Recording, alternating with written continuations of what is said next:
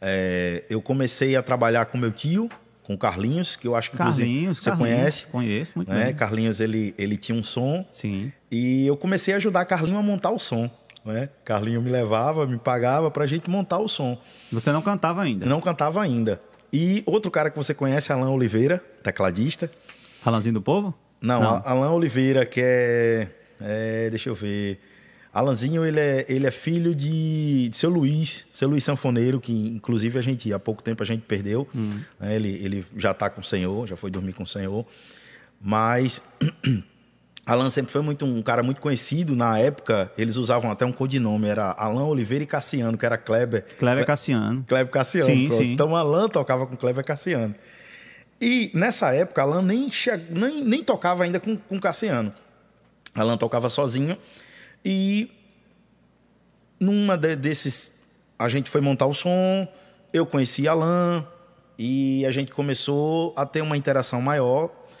E Alan, na época, eu sempre fui louco só para contrariar, sempre gostei, até hoje sou fã ainda da banda. Tive a honra de cantar com Alexandre Pires, para mim foi, foi algo fantástico, para mim foi uma das coisas que marcou a minha vida. E Alan tinha, na época, tinha um teclado de disquete e tinha alguns playbacks só para contrariar.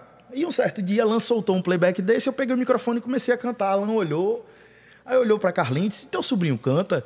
Aí ele se, a Carlinhos olhou assim: Rapaz, não. Só que eu já cantava na escola. Aham. Eu estudei aqui no Walter, que é bem aqui pertinho, né?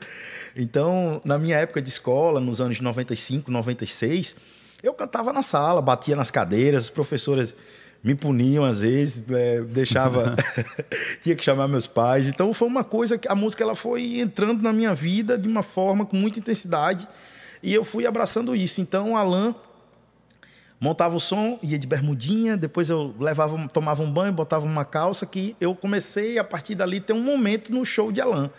Então, um momento de pagode, onde tinha raça negra, só para contrariar, era eu que fazia esses momentos. Aí daí começou, né? Comecei a trabalhar com Carlinhos, aí foi quando a Deilton viu, tá, vamos levar ele pra gente ir pro Alto Oeste, para ir na- naquelas épocas de campanha política. Isso, isso você tinha que idade? Isso aí eu tava com uns 15, né? E como eu tava com meu tio, meus pais permitiram, né? Que eu tava com meu tio, então a gente eh, viajava bastante. Carlinhos, naquela época, eram muitos contratos que Carlinhos tinha. Aí foi quando eu conheci Sami, né? Sami tecladista. E eu e Sami foi uma liga, assim, fantástica.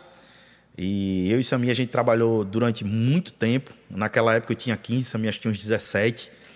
E, cara, a partir daí a gente foi ganhando é, um mercado mais no interior. A gente começou a tocar mais nos interiores, a gente não tinha tanto espaço aqui. E deu o que deu. A gente começou a ficar sendo conhecido nos interiores, fechar alguns contratos por aqui. E graças a Deus é, foi muito bom para todo mundo.